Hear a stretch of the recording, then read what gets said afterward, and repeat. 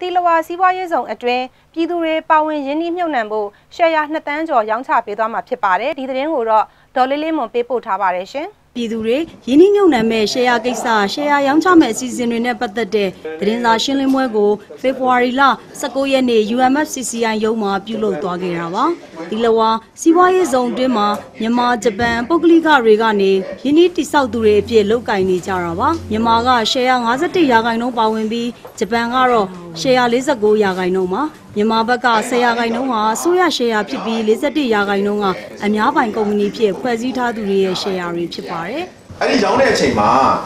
မြန်မာအများပိုင်ကုမ္ပဏီရှယ်ယာရောင်းချဖို့လို့အတွက်ကျွန်တော်တို့2014ခုနှစ် March မှာသတင်းစာတွေကနေကြေညာပြီးတော့သတင်းစာမှာကျွန်တော်တို့မီဒီယာအနည်းဆုံးပေါ့နော်ကျွန်တော်တို့3ခုလောက်မှာကြေညာပြီးတော့အများပြည်သူများကိုစပြီးတော့ရောင်းချမှာဖြစ်ပါတယ် အခုရောင်းချမှာကတော့အများပိုင်ကုမ္ပဏီရဲ့41ရာခိုင်နှုန်းကိုမြန်မာကျပ်ငွေနဲ့ရောင်းချသွားဖို့ရှိနေတာပါ။ရှယ်ယာတစ်ခုကိုမြန်မာငွေ1000နှုန်းနဲ့ရှယ်ယာအခုရေပေါင်း2တန်းကျော်ရောင်းချပေးမယ်လို့တီလဝါအထူးစီးပွားရေးဇုံဥက္ကဋ္ဌဦးဆက်အောင်ကပြောပြသွားပါတယ်။ကျွန်တော်တို့ကဒီဥစ္စာကိုလူများများဝယ်စီခြင်းတယ်လူများများဝယ်တဲ့အခါမှာလည်း